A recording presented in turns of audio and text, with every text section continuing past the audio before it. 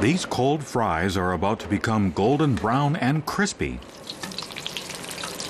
But it takes a lot of oil to make the perfect fry.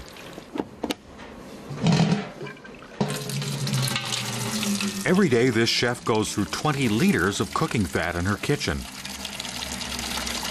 The restaurant has been giving the used fat to the local wastewater treatment facility since 2004. It's become a trend in this region of Austria.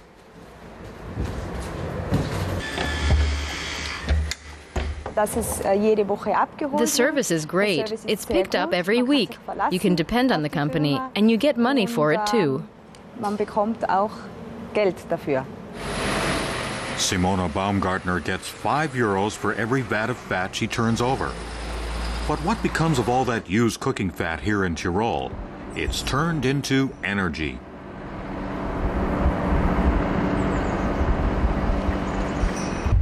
Truck picks up the oil from the restaurants and kitchens and brings it to a purification plant where it's processed.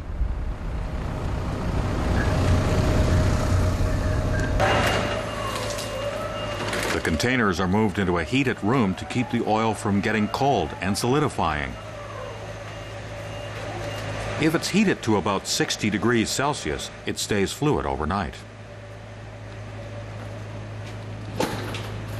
But before the fat can be used to generate energy, it has to be filtered.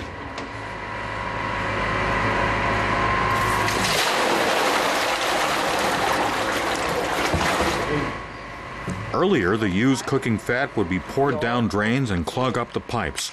Now the plant processes 15 tons of it a day.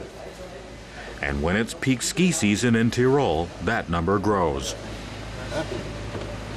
Once the vats are emptied, they're returned to the kitchens they came from.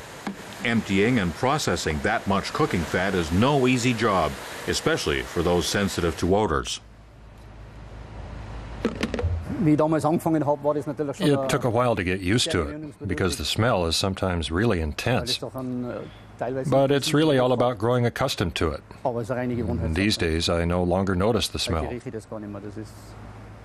But my wife certainly does. Engineer Christian Caligari came up with the idea to turn cooking fat into electricity. He wanted to tidy up the local wastewater plant's finances and help the environment at the same time. The engine turning the plant would normally take diesel, but it's fed with cooking fat now, and it generates zero emissions. The engine cost half a million euros, but just two more years and the wastewater company will have recouped the investment. The engine is not specifically outfitted to run on cooking fat. The secret is that the fat is processed and it really does turn into fuel. So it works in the engine without any problems. The plant generates enough electricity to power 3,000 homes, and of course the wastewater treatment facility itself. The biggest change at the wastewater treatment plant is that we produce our own energy now. We don't have power shortages anymore, and we can run the entire facility with the biodiesel. Caligari takes advantage of any opportunity to produce environmentally friendly energy. He even saves the waste that's left over from the water treatment. That sludge is dried out using the heat from the engine. It turns into valuable fuel for local building companies. The biggest advantage to drying out the leftover waste is that it shrinks. There's less of it. There's only a third of what's usually left over when you purify wastewater. And the end product has a very high heating value. So it's ideal for the cement industry. The people here in Tyrol have long since gotten used to the idea of collecting fat for energy.